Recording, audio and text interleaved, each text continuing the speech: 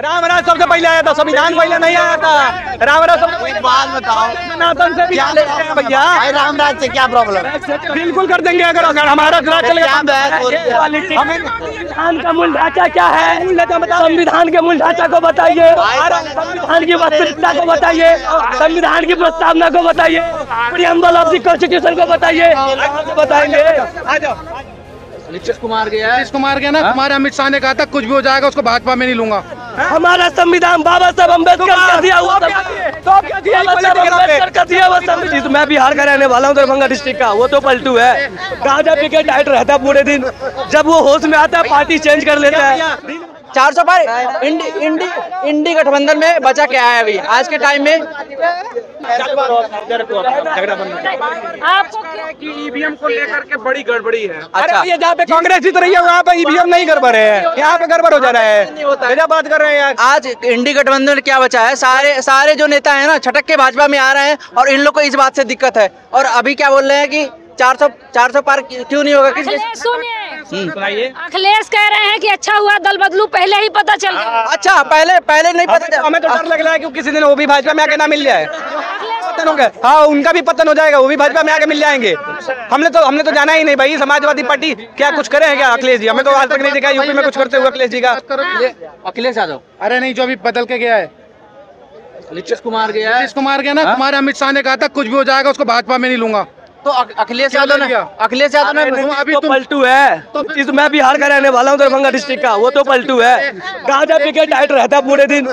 जब वो होश में आता है पार्टी चेंज कर लेता है। दिन भर में दो बार जब आ लेता है। उसकी बात कौन करेगा? बीजेपी का दूसरा नाम है वॉशिंग मशीन। जो भी बुरे कर्म करके आएगा उनको धोएँगे पटक पटक के फिर अपने टीम में लेंगे। और उसके बाद ज़िंदगी में दोबारा गलत काम नहीं करेगा। भ्रष्टाचारियों का स्वागत ना ना स्वागत नहीं करते हैं। बुलाते हैं। सरफ लगा के बहुत अच्छे से धोते हैं। उसके बाद से बोलते हैं भैया दोबारा ये काम नहीं होना चाहिए। इसको लूट के बीजेपी अरे भैया अच्छा एक बात बताओ एक बात बताओ। अगर अगर इंक्वायरी होगी उन पे उन पे इंक्वायरी होगी अगर वो भी दोषी पाए जाएँगे तो उन पे भी कार्रवाई होगी। भ्रष्टाचारियों का स्वागत करती है बीजेपी। भैया ने सही सवाल किया है। भाई साहब ने सही सवाल किया। आप ये बताओ लुटेरों का स्वागत करती है बीजेपी भैया अच्छा एक बात बताओ मैंने नहीं आ- का अगर स्वागत करती है मतलब लुटेरों का स्वागत करती है? स्वागत करती है?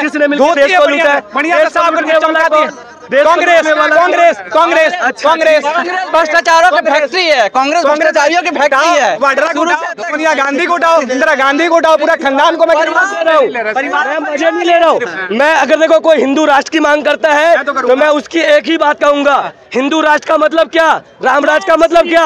सबको बराबर का सम्मान चाहे वो मुसलमान चाहे वो हिंदू चाहे वो दलित चाहे वो ज़्यादा किसी को बराबर का सम्मान नहीं है। प्रतिष्ठा रखी गई? क्रिश्चियन के जो चर्च के ऊपर? राम जी का झंडा लगा गया। इससे सम्मान कहते हैं। भाई मैं मैं मांग करता हूँ हिंदू राष्ट्र की मैं मांग करता हूँ एक मुसलमान हूँ मैं।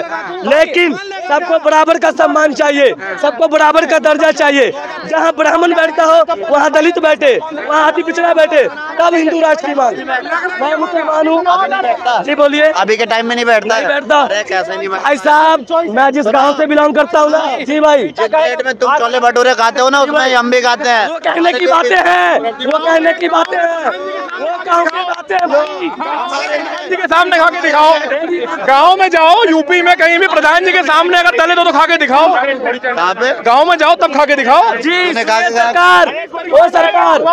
मैं मुसलमान मैं हिंदू राष्ट्र की मांग करता हूँ। जी सर। एक हफ़्ते पहले भाई साहब के कहने का मतलब ये है दलित को। जी सर। इक्वालिटी कहाँ है? भाई तो मैं कहता हूँ इक्वालिटी की बात करें ना अगर राम राज चाहता है राम किसी का बुरा चाहता है यहाँ पे इतना खुले होकर बोल रहे हो इक्वालिटी ना होती तो बोलते कैसे यार?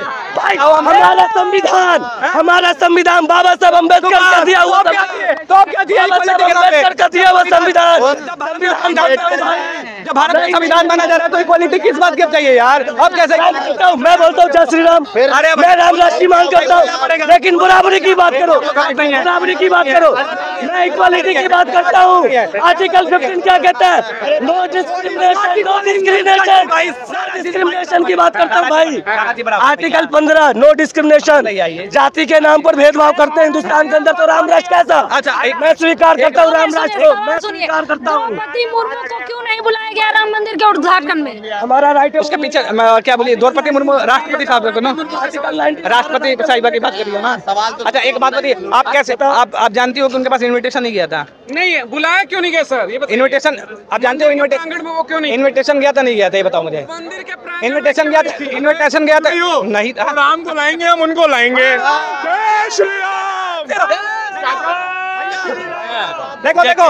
भाई भैया देखो। मुद्दा मैडम ये नहीं है। हम इनको बात को काट सुनिए कैसे काटिएगा? बोलो बात। मैंने स्वीकार किया मैं चाहता हूँ राम राष्ट्र। हाँ राम राम लेकिन आप लोग बताओ राम किसी का बुरा चाहेगा? नहीं जाएगा बिल्कुल। किसी को ऊँचा नीचा बोलेगा? बोल तो रहा है हम भाई बोल रहे भाई? बिल्कुल बोलते हैं भाई। मैं भी मैं अपनी इंस्टा खोल के दिखाता हूँ।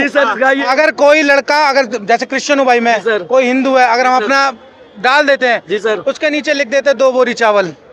उसके साइड में लिख देता जय श्री क्वालिटी होती है। चलो तुम किसी सोशल मीडिया पे तुम जीने नहीं दे रहे हो।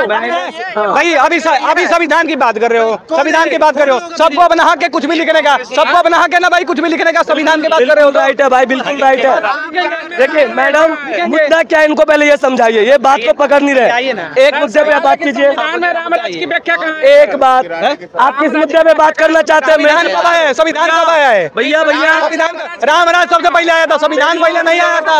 रामराज सबसे बात बताओ। सनातन से भी क्या हैं भैया। भाई रामराज से क्या प्रॉब्लम बिल्कुल कर देंगे अगर अगर हमारा राज चलेगा